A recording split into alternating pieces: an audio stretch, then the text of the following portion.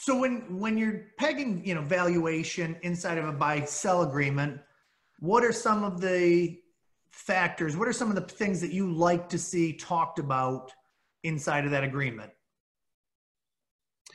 Well, um, for starters, I am I'm a big proponent of fair market value.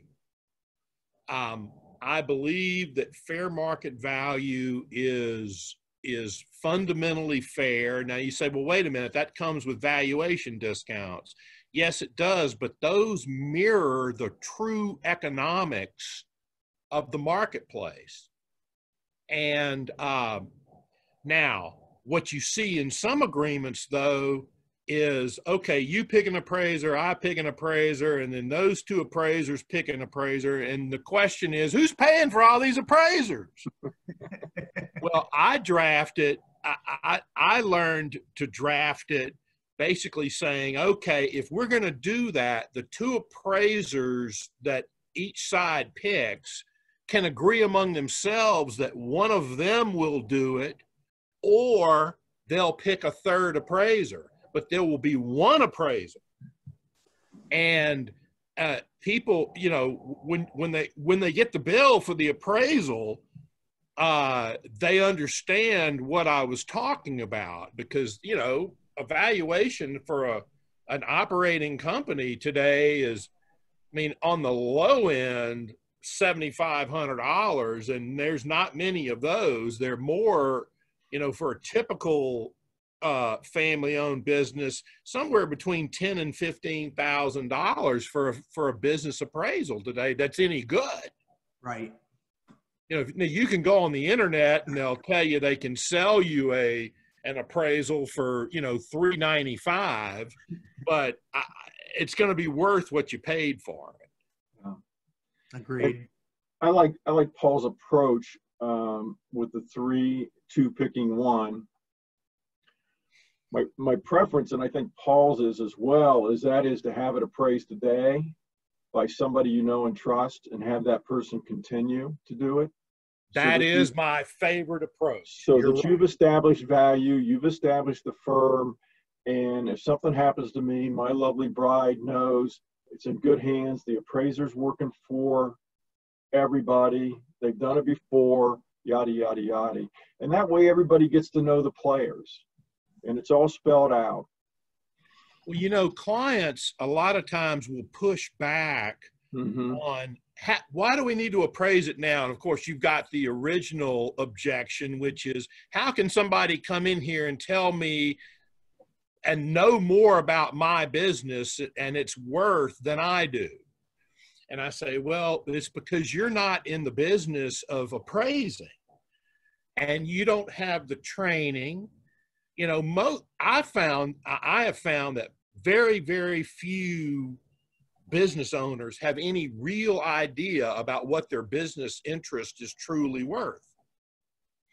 They have they either have some pie in the sky thought about it or they undershoot it by a good ways. Yeah. And I've had clients on both ends of that spectrum. So get it appraised and then I, I tell, and, and, when clients wanted to balk about paying for an appraisal, I said, I said, if we get a good appraisal, I said, this is the most valuable management tool you will ever get because it will identify your competitors. It will talk about, it will talk about trends in your industry. It will talk about trends locally in the economy nationally.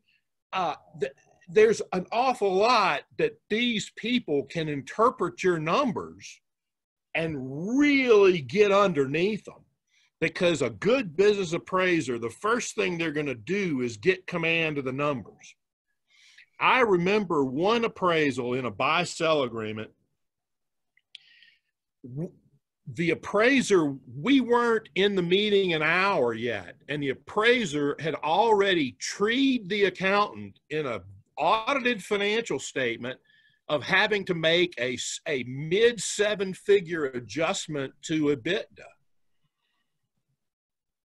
and it was all because of the persistent questions that the appraiser kept asking that they couldn't answer.